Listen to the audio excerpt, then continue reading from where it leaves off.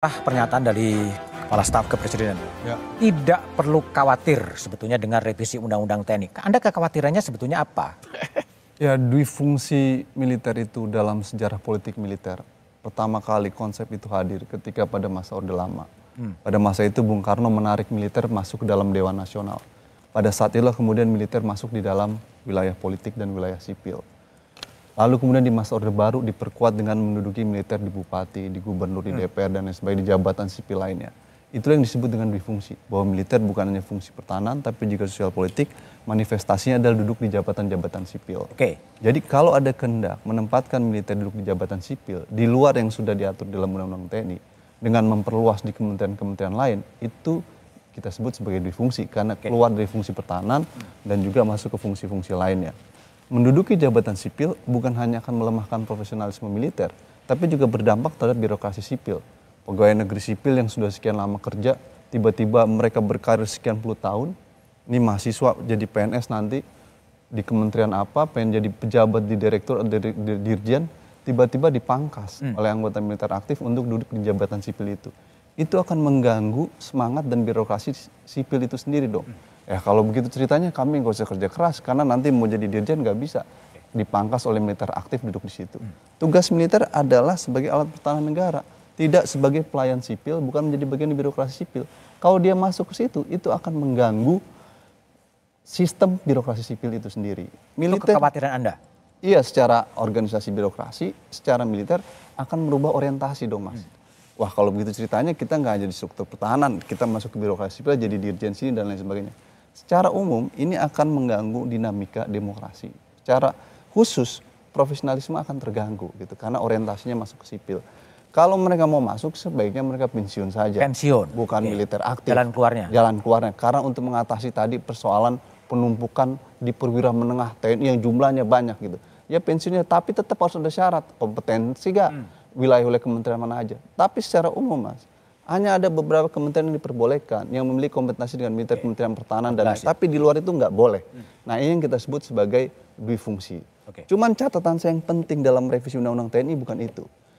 Kalau kendak ingin melakukan transformasi TNI ke arah yang profesional, maka saya meminta kepada Pak Ngabalin dan Pak Syarif Hasan, harusnya Anda menjalankan mandat TAP MPR 6 dan 7 tahun 2000. Pemisahan. Yang menjelaskan dan mandatkan agar pemerintah dan DPR melakukan reformasi peradilan militer Undang-Undang Nomor 397. Okay. Hmm. Revisi Undang-Undang TNI harusnya bisa melakukan itu. Dengan cara apa? Menghapus pasal peralihan di dalam Undang-Undang TNI 34 2004. Ada pasal di dalam Undang-Undang TNI 34 2004 itu yang bagus. Militer tunduk dalam peradilan umum kalau terlibat tindak pidana umum, tunduk dalam peradilan militer, tunduk kalau terlibat dalam uh, tindak pidana militer. Okay. Tapi ada pasal peralihan yang menyebutkan pasal tersebut tidak berlaku jika Undang-Undang 3197 belum dirubah. Hmm. Kalau ingin merevisi Undang-Undang TNI dalam kerangka menegakkan negara hukum, maka pasal peralihan itu dirubah supaya apa? Mereka, anggota DPR, presiden, masyarakat, mahasiswa, siapa pun dia wartawan, kalau terlibat tindak pidana umum, diadili di peradilan umum. Ini prinsip azas persamaan di hadapan hukum. Okay equality before the law yang ditegakkan oleh konstitusi dimanifestasi dalam TAP MPR 67 tapi tidak pernah diimplementasikan. Okay. Padahal untuk menciptakan profesionalisme harusnya revisi undang-undang TNI mengharuskan untuk mereformasi sistem peradilan militer. Baik. Itu okay. yang nggak dilakukan oleh DPR dan Bang pemerintah. Gimana respon terhadap tanggapan AAL tadi? Ya, karena kita memilih demokrasi sebagai jalan orang mengurus republik ini. Hmm karena itu, maka semua yang terkait dengan urusan kekuatan militer dan kekuasaan negara itu orang duduk untuk berbicara. Hmm. Umpama tadi tentang revisi undang-undang TNI, kemudian terkait dengan peradilan, peradilan militer. militer, peradilan sipil. Ya alam demokrasi itu kan dia mengajarkan tentang bagaimana setiap peradaban itu orang bisa menentukan jati dirinya. Jadi kalau nanti di undang-undang militernya kemudian dengan peradilan militer, Oke, kita setuju itu perkara, kita setuju. Tapi yang saya mau katakan sampai hari ini belum bisa terselesaikan itu adalah sejak kapan orang bisa memisahkan tentara sebagai militer dan sebagai warga negara. Itu kan sebuah peradaban yang sampai hari ini jangankan di Indonesia, di Eropa, di Amerika orang tidak bisa berbicara dan tidak bisa memisahkan perkara itu. Itu konsepnya. Hmm. Waktu kami ini dulu DPR, Komisi Satu yang mengurus ini tentara, berbusa-busa kita bicara itu. Oke. Okay. Karena apa? Setelah selesai kekuasaan pemerintahan Presiden Soeharto, kita bicara dalam era reformasi, semua orang sama ratakan. Oh. Seakan-akan pada era Orde Baru itu semuanya jelek dan busuk. Hmm. Sementara kita masih gunakan itu prinsip-prinsip Orde Baru itu dalam sebuah peradaban negara demokrasi. Yang sudah berubah. Di situlah yang saya saya bilang jangan prejudais. Hmm. Bicara Republik ini itu harus bicara dalam konsep tataran peradaban sebagai anak-anak Melayu. Oke. Okay.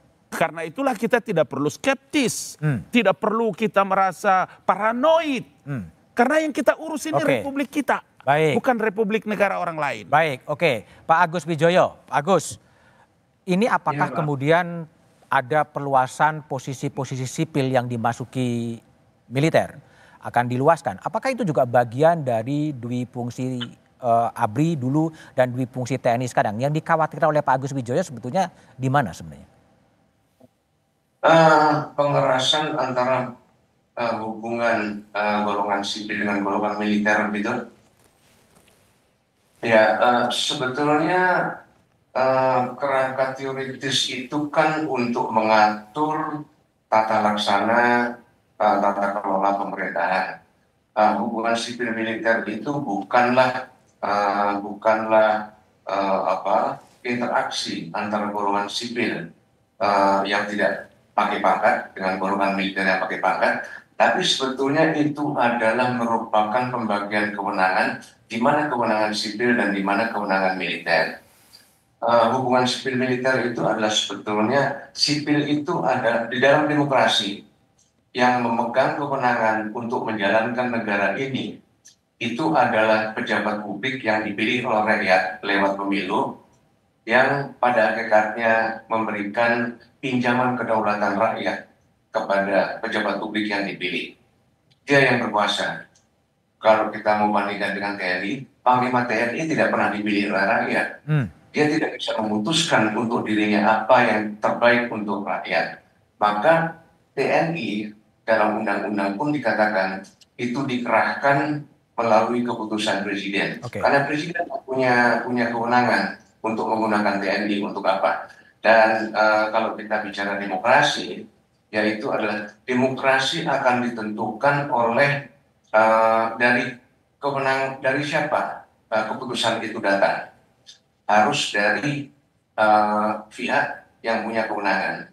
Uh, daripada keputusan itu uh, dianggapnya menurut perasaannya itu paling benar, tetapi tidak berdasarkan prosedur, mekanisme ataupun sumber yang berkewenangan. Misalnya begini, uh, di Laut Natuna Utara misalnya ada kapal dari negara asing kemudian mengganggu, tentu kita sangat patriotik. Uh, tenggelamkan, uh, kemudian hancurkan. Ditenggelamkan, hancurkan oleh Panglima TNI.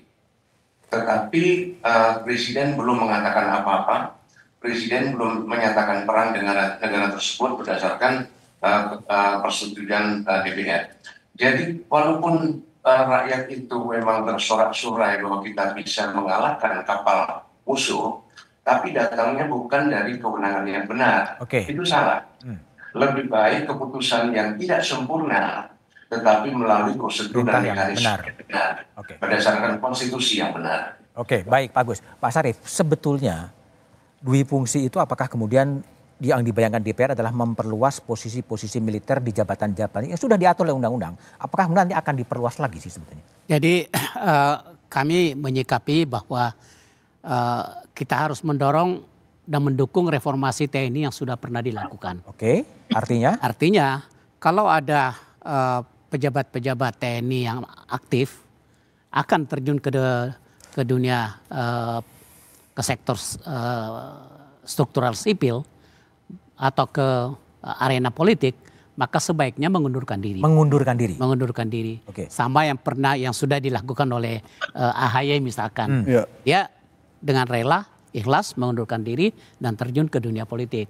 Nah, uh, kami menyadari bahwa uh, sebenarnya mereka-mereka teman-teman uh, para perwira tinggi ini kan memiliki kapasitas yang mumpuni memiliki suatu uh, integritas yang tinggi. Nah, tentunya sebaiknya juga diatur bahwa kalau itu terjadi maka akan diberikan lebih bagus diberikan kesempatan pada usia-usia tertentu ada level ter, ada level terbagi atas tiga level perwira tinggi, hmm. menengah dan, dan bintara. Itu pada usia-usia tertentu juga diberi kesempatan untuk resign hmm. kalau memang akan memilih uh, pos-pos uh, di lingkungan sipil. Hmm. Saya pikir itu akan lebih bagus. Lebih elegan ya. Ya, jadi dia secara secara uh, sadar mendukung reformasi TNI yang sekarang sudah bagus itu lebih bagus dia memilih untuk mundur. Oke. Okay. Ya kan? Ini saya pikir lebih bagus. Ya. Karena memang kalau itu tidak dilakukan, kemudian usia uh, perwira tinggi itu bisa dinaikkan menjadi dua tambah 20 lagi, maka ya uh, maka struktur piramidanya itu akan menumpuk di tengah. Hmm. Nah, ini menjadi persoalan. Sementara di sisi lain untuk membentuk teritorial baru ini sudah sangat terbatas atau pos-pos tertentu juga sudah sangat terbatas. Maka mungkin terfikirkan untuk menempatkan di jabatan-jabatan uh, sipil. jabatan sipil lainnya. Okay. Dan tadi uh, saya pikir kalau itu dilakukan maka sekalipun tidak dikatakan dua fungsi ABRI, secara kenyataan itu menjalankan dua fungsi, fungsi ABRI. Okay. Jadi sebaiknya ya kalau memang ingin berkontribusi kepada bangsa dan negara dengan kapasitas yang masih begitu tinggi, sebaiknya memilih untuk mundur ya dari kesatuan. Itu okay. akan lebih bagus karena apa?